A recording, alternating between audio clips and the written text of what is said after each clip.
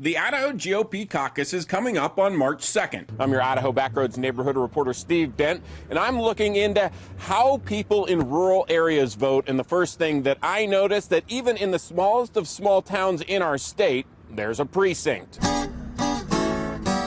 You might know Yellow Pine for their famous Harmonica Festival near the end of summer. But most of the year, it's pretty quiet. According to the 2022 census, 327 people live in this mountain town, a long way from anywhere. So it'll be a two hour drive for me to go up there. It's, you know, in the backcountry. We're talking snow on the road, but I'm ready for it. I've lived in the mountains all my life, so that's not a problem for me. Faye Thompson will be the captain of the Yellow Pine precinct, so registered Republicans won't have to make this drive to vote in the Idaho presidential caucus. We really want everybody to be there. We'll have the doors open for an hour and a half from noon to 1:30 um, for people to come in and sign the poll book and be there to vote but it is it is very important. Each precinct will feature 5-minute speeches from the candidates. They have signs, ballot boxes, and ballots all ready to go at locations in Atlanta, Jordan Valley, and Lowman, courtesy of the Idaho Republican Party. We've got all this already mailed out 2 weeks ago to every one of the caucus captains.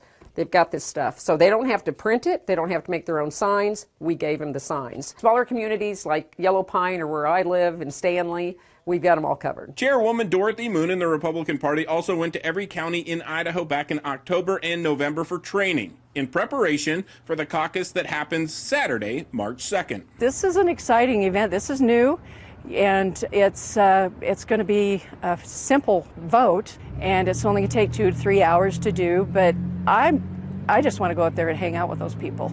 I'm your Idaho Backroads neighborhood reporter Steve Dent for Idaho News 6.